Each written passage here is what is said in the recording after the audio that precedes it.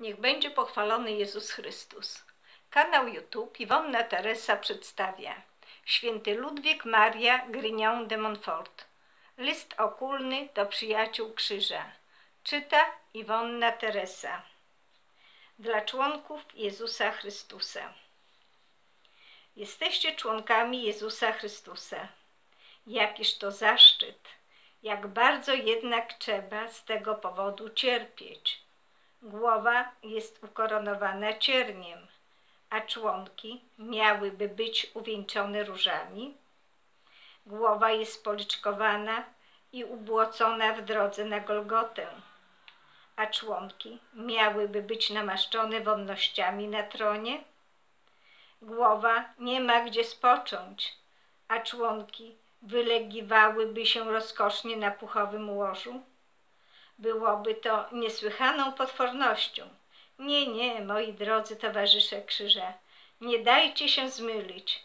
Ci chrześcijanie, których widzicie ze wszystkich stron, modnie wystrojeni, cudownie subtelni, nadmiernie wyniośli i poważni, nie są prawdziwymi uczniami ani prawdziwymi członkami Jezusa ukrzyżowanego. Uważając, że jest inaczej, znieważalibyście tę głowę ukoronowaną cierniem oraz prawdę Ewangelii.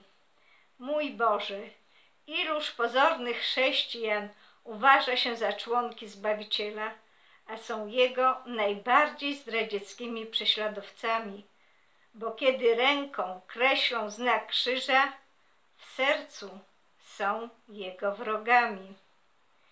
Jeśli prowadzi was ten sam duch, jeśli żyjecie tym samym życiem, co Jezus Chrystus, wasza głowa uwieńczona cierniami, to spodziewajcie się tylko cierni, tylko razów, tylko gwoździ, jednym słowem tylko krzyża, trzeba bowiem, by uczeń był tak samo traktowany jak nauczyciel, a członek jak głowa. A jeśli niebo, jak w świętej Katarzynie ze Sieny, ukaże wam koronę cierniową i koronę z róż, to razem z tą świętą wybierzcie bez wahania koronę cierniową i włóżcie ją sobie mocno na głowę, aby upodobnić się do Jezusa Chrystusa. Dla świątyń Ducha Świętego. Pamiętajcie, że jesteście żywymi świątyniami Ducha Świętego i że niby żywe kamienie macie być umieszczeni przez Boga miłości w budowli niebieskiego Jeruzalem. Spodziewajcie się zatem, że będziecie ociosywani, rozcinani i cyzelowani młotem krzyża. Inaczej pozostalibyście jak surowe kamienie, niezdatne do niczego, którymi się gardzi i precz od siebie odrzuca. Uważajcie, by nie stawiać oporu młotowi, który w was uderza, a uważajcie na nożyce, które was przycinają i na rękę, która was obraca. Być może ten zręczny i rozmiłowany architekt chce z was uczynić jeden z pierwszych kamieni swojej wiecznej budowli i jeden z najpiękniejszych obrazów swego niebieskiego królestwa. Pozwólcie więc mu działać. Kocha was, wie, co robi, ma doświadczenie. Wszystkie jego ciosy są zręczne i pełne miłości. Nie zada żadnego fałszywego, chyba że udaremnicie go swoją niecierpliwością. Duch Święty porównuje krzyż raz do wiejadła, które oczyszcza dobre ziarno ze słomy i plew, a więc nie stawiając oporu jak ziarno wiejadle, pozwólcie sobą miotać i począsać. Jesteście w wiejadle ojca rodziny, a wkrótce znajdziecie się w jego spichlerzu. Kiedy indziej do ognia, który żywymi płomieniami usuwa rdzę z żelaza. Nasz Bóg jest ogniem pochłaniającym, który przez krzyż miesza w duszy, aby ją oczyszczać, nie spalając jej, jak niegdyś w płonącym krzewie. to znów do tygla, w którym próbuje się szlachetne złoto, a fałszywe ulatuje z dymem. Szlachetne cierpliwie znosi próbę ognia, a fałszywe rozwiewa się z dymem nad jego płomieniami. W tyglu udręki i pokusy. Prawdziwi przyjaciele krzyża oczyszczają się swoją cierpliwością. Natomiast jego wrogowie ulatują jak dym przez swoją niecierpliwość i szemranie. Trzeba cierpieć jak święci. Spójrzcie, moi drodzy przyjaciele krzyża, spójrzcie przed siebie na wielką rzeszę świadków, którzy bez słowa potwierdzają to, co wam mówię. Widzicie, jakby mimo woli sprawiedliwego Abla, zabitego przez swojego brata, sprawiedliwego Abrahama, obcego na ziemi, sprawiedliwego Lota, wygnanego ze swego kraju, sprawiedliwego Jakuba, prześladowanego przez brata, sprawiedliwego Tobiasza, dotkniętego ślepotą, sprawiedliwego Hioba, ogołoconego, upokorzonego i pokrytego ranami od stóp aż do głowy. Spójrzcie na rzeszę apostołów i męczenników, pokrytych szkarłatem własnej krwi. Na tyle dziewic i tylu wyznawców, ogołoconych, upokorzonych, wygnanych, odtrąconych, którzy wszyscy wołają ze świętym Pawłem. Patrzmy na Jezusa, sprawcę i dokonawcę wiary, którą pokładamy w Nim i w Jego krzyżu. Trzeba było, aby cierpiał, by przez krzyż wejść do swojej chwały. Obok Jezusa Chrystusa widzicie ostry miecz, do głębi przeszywający czułe i niewinne serce Maryi, która nigdy nie popełniła żadnego grzechu, ani pierworodnego, ani uczynkowego. Nie mogę tu nie wspomnieć o męce Jezusa i Maryi, by pokazać, że nasze cierpienia są niczym w porównaniu z tym, co oni wycierpieli. Któż z nas zatem będzie mógł zwolnić się z niesienia swojego krzyża? Któż z nas czym prędzej nie pobiegnie tam, gdzie wie, że czeka na niego krzyż? Któż nie zawoła razem ze świętym Ignacym męczennikiem? Niechaj ogień i krzyż, stada dzikich zwierząt, rozszarpywanie na części, ćwiartowanie, wyłamywanie kości, kaleczenie członków, miażdżenie całego ciała, niech najgorsze tortury diabelskie spadną na mnie, bylebym tylko posiadł Jezusa Chrystusa. Albo jak odrzuceni. A jeśli nie chcecie cierpliwie znosić cierpień i nieść swojego krzyża z poddaniem jak wybrani, to będziecie go nieść z szymraniem i niecierpliwie, jak odrzuceni. Będziecie podobni do tych dwojga zwierząt, które rycząc ciągnęły Arkę Przymierza. Będziecie naśladować Szymona z Cereny, który wbrew sobie podjął krzyż Jezusa Chrystusa i tylko szemrał, kiedy go niósł. I wreszcie przydarzy wam się to, co spotkało złego Łotra, który z wysokości swojego krzyża spadł na dno otchłani. Nie, nie, ta przeklęta ziemia, na której żyjemy, nie wydaje błogosławionych w tej krainie mroku. Nie sposób wyraźnie widzieć na tym wzburzonym morzu. Nie można osiągnąć doskonałego spokoju. W tym miejscu pokus i na tym polu bitwy. Nie można obyć się bez walki na tej ciernistej ziemi. Nie można uniknąć zadraśnięć. Chcąc, nie chcąc, wybrani i odrzuceni niosą na ziemi swój krzyż. Zapamiętajcie ten czterowiersz. Patrz na Golgotę, tam trzy krzyże stoją. Tu wybrać trzeba świętość i pokuta, pełne cierpienia lub dola złoczyńcy, co potępiony jest i nieszczęśliwy. Znaczy to, że jeśli nie chcecie cierpieć radośnie jak Jezus Chrystus, albo cierpliwie jak dobry łotr, to będziecie musieli cierpieć wbrew sobie, jak zły łotr. Będziecie musieli wypić najbardziej gorzki kielich do dna, bez żadnej pociechy, łaski i nieść cały ciężar swojego krzyża bez żadnej pomocy Jezusa Chrystusa. Będziecie ponadto musieli dźwigać złowieszczy ciężar, który szatan dorzuci do waszego krzyża z powodu niecierpliwości, o którą krzyż was przyprawi.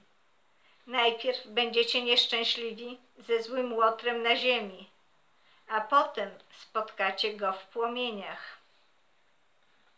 Nic równie pożytecznego i miłego.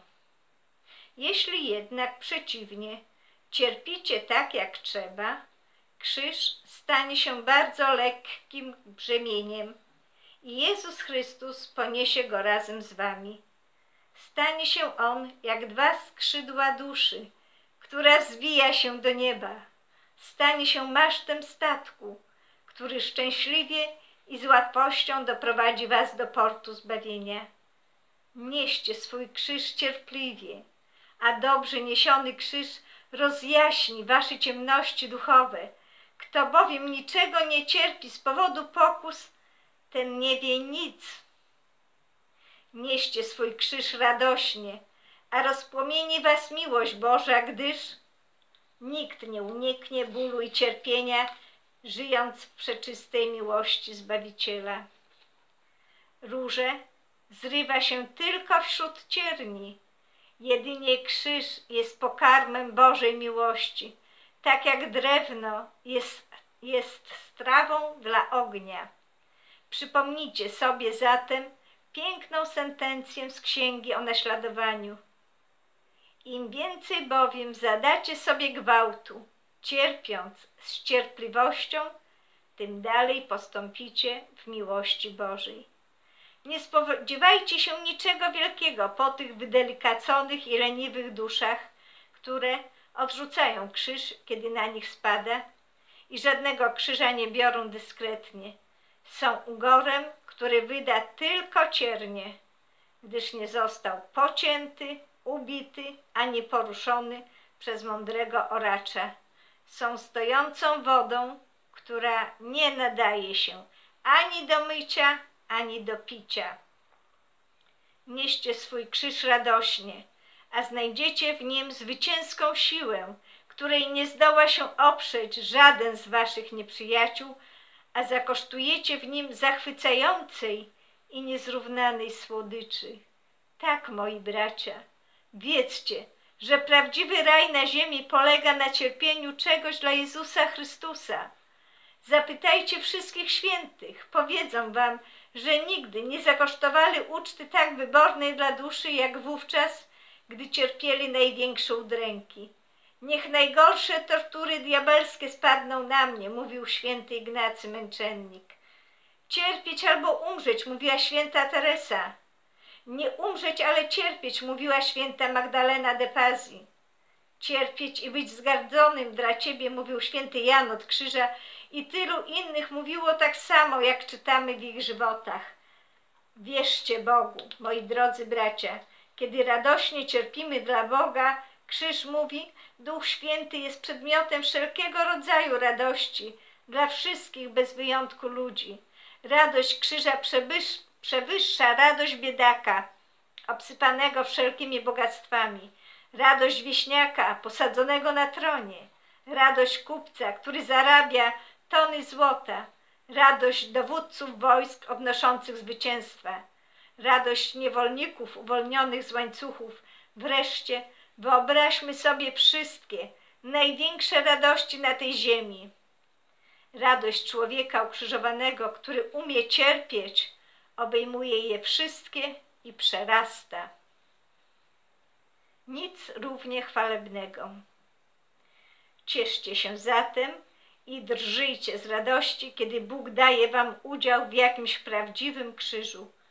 Choć bowiem tego nie dostrzegacie, dosięga was to, co największe w niebie i w samym Bogu. Tak wielkim darem Boga jest krzyż. Gdybyście to zrozumieli, zamawialibyście msze, odprawialibyście nowenny przy grobach świętych, podejmowalibyście długie podróże, jak to czynili święci, żeby otrzymać z nieba ten boski dar. Świat nazywa go szaleństwem, hańbą, głupstwem, niedyskrecją, nierozwagą. Pozwalajcie mówić tym zaślepieńcom. Ich zaślepienie, które każe im widzieć krzyż po ludzku i w dodatku na opak, jest częścią naszej chwały.